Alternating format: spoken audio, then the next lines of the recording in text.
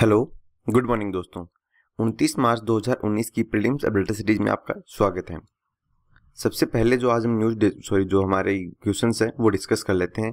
पहला जो क्वेश्चन है, वो यहाँ पे है, नोटम को रिलेटेड क्वेश्चन में हमें दो स्टेटमेंट दिए गए हैं और हमें यहाँ पे करेक्ट स्टेटमेंट है, वो आइडेंटिफाई करना है। पहला स्टेटमेंट नोटम के बारे में दिया गया है कि यह एक नोटिस है, जिसमें इंफॉर्मेशन होती है कि अगर आप कोई भी एयरोनोटिकल फैसिलिटी या सर्विस कोई भी प्रोसेस हो उसके बारे में आपको एक्सपेरिमेंट कर रहे हो, उसको लेके कुछ भी आपको कंसर्न वगैरह है तो उसको लेके एक तरीके का नोटिस है, वो जारी किया जाता है। सेकेंड स्टेटमेंट यह कह रहा है कि यह मैंडेटरी होता है हर देश के लिए जो भी कोई मिसाइल टेस्ट वगैरह करता है। अब हमें बताना है कि करेक्ट स्टेटमेंट कौन सा है। देखो, यहाँ पे दोनों के दोनों स्टेटमेंट है, वो बिल्कुल सही है। नोटम में वो एक तरह का नोटिस है कि भाई आप कोई भी कंट्री मान लो कि कोई एक्सपेरिमेंट कर रही है मिसाइल वगैरह को लेके तो उससे पहले उसको नोटिस जारी करना होता है नोटम उसके बाद ही वो एक्सपेरिमेंट वगैरह है, वो कर सकती है। तो इसका पहला ऑप्शन भी सही है, दूसरा भी सही है। अभी ये न्यूज़ में क्यों है इसको लेके भी आज में एक आर्टिकल है, वो भी डिस्कस करने वाले हैं। नेक्स्ट जो आर्टिकल है, वो है नोटा को रिलेटेड है। नन ऑफ़ द अबो के लेके। आपने इलेक्शन में देखा होगा कभी, जब भी वो ईवीएम होती है, उसके ऊपर एक नोटा का साइन है, वो लगा हुआ होता है। इसमें हमें तीन स्टेटमेंट दिए गए और करेक्ट स्टेटमेंट पूछा है नोटा को लेके। पहला स्टेटमेंट तो यहाँ पे ये कह रहा है कि नोटा है, इसका पहली बार यूज़ है, वो 2013 के लोकसभा इलेक्शन में किया गया था। सेकंड स्टेटमेंट यहाँ पे कह रहे है कि नोटा का जो सिंबल है, वो बैलेट पेपर के नीचे एक मतलब ऐसे का ब्लैंक होता है और उसमें क्रॉस का साइन है, वो लगा हुआ होता है। थर्ड स्टेटमेंट यहाँ पे कह रहे है कि अगर नोटा को मैक्सिमम वोट मिल जाए और उसके बाद जो दूसरा कोई कैंडिडेट है, उसको अगर वोट कम मिल रहे हैं तो भी जो सबसे ज़्यादा वोट की अगर बात करें तो जिस कैंडिडेट को मिल रहे हैं, उसको ही डिक्लेयर घोषित किया जाएगा। मतलब थर्ड स्टेटमेंट ये कह रहा है कि नोटा को अगर सबसे ज़्यादा वोट मिल गए तो ऐसा नहीं कि इलेक्शन दोबारा से होंगे। तो ये स्टेटमेंट हमें यहाँ पे दिया गया है। अब देखो यहाँ पे बात करें नोटा को लेके तो नोटा का जो पहली बार यूज़ है, वो 2013 के लोकसभा इलेक्शन में नहीं हुआ था। स्टेट असेंबली इलेक्शन में इसका यूज़ है, वो किया गया था। तो पहला स्टेटमेंट यहाँ पे गलत है, वो अपने आप को हो जाता है। बाकी सेकेंड स्टेटमेंट में वो बिल्कुल सही है कि बैलेट पेपर में इसका जो तो सिंबल है साइन होता है। जैसे कि कांग्रेस का सिंबल है, वो हाथ होता है। बीजेपी का सिंबल है, वो कमल होता है। तो उसी तरीके से नोटा का सिंबल है, वो होता है कि ब्लैंक इस तरीके का क्रॉस है, वो लगा हुआ होता है। और थर्ड स्टेटमेंट भी बिल्कुल सही है कि अगर नोटा को मैक्सिमम वोट मिल जाते हैं तो इसका मतलब ये नहीं कि इलेक्शन दोबारा से होंगे। यानी कि जो कैंडिडेट है जिसको सबसे ज़्यादा वोट मिलेंगे, वही विजेता होगा। अगर नोटा को ज़्यादा वोट मिलने पर ऐसा होगा नहीं कि उसको इलेक्शन दोबारा करवाने पड़ेंगे। तो इसका आंसर यहाँ पे हो जाएगा C second and third statement है वो करेक्ट है। नेक्स्ट जो क्वेश्चन है, वो भी नोटा को लेके ही है।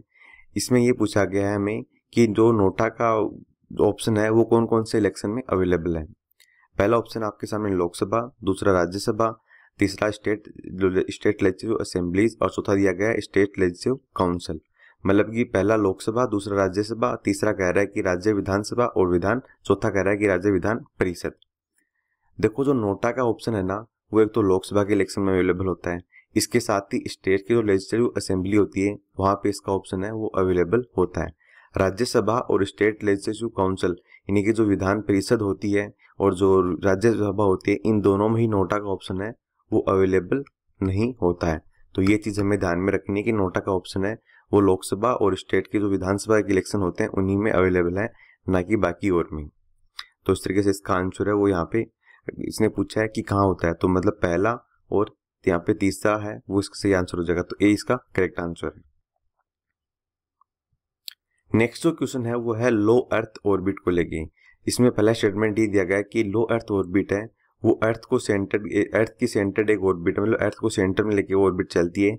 इसकी जो हाइट है या लो अर्थ ऑर्बिट है, वो अर्थ से लगभग 2000 किलोमीटर तक की रेंज तक पाई जाती है।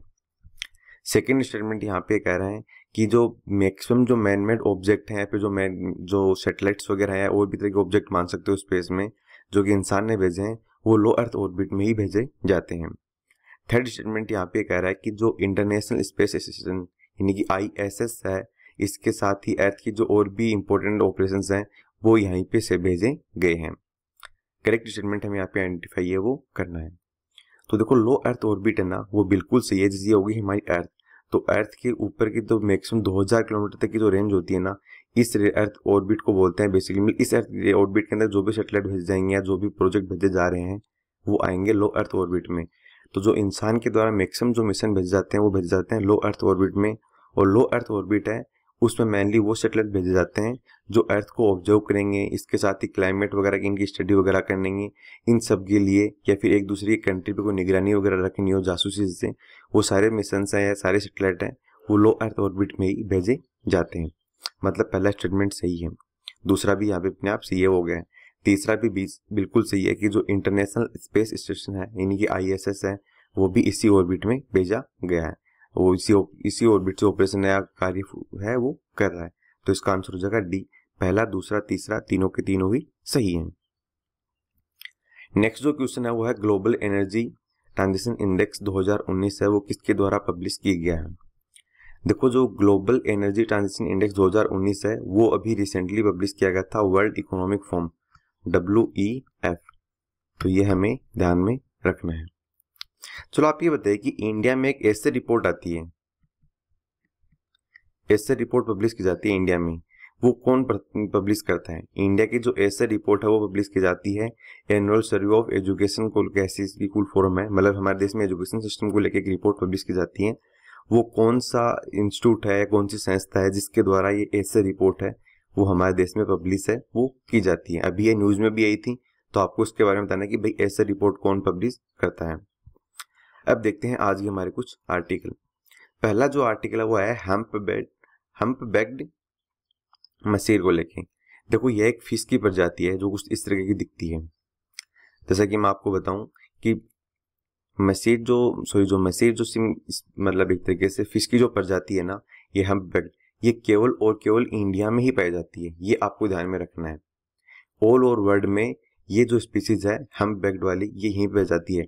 बाकी मसीर है, वो तो और जगह भी पाई जाती है बट जो हेम्प बैग्ड मसीड है ना मसीर है ना, वो सिर्फ़ वो सिर्फ़ इंडिया के कावेरी रिवर बेसिन में ही पाई जाती है।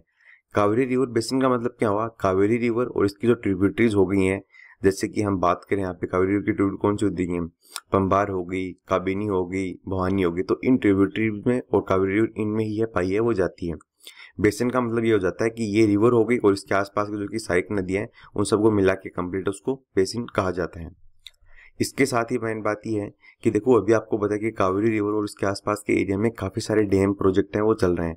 तो इसकी वजह से जो ये फ़िश की प्रजाति है, काफ़ी तेज़ी से लुप्त है, वो होती जा रही है।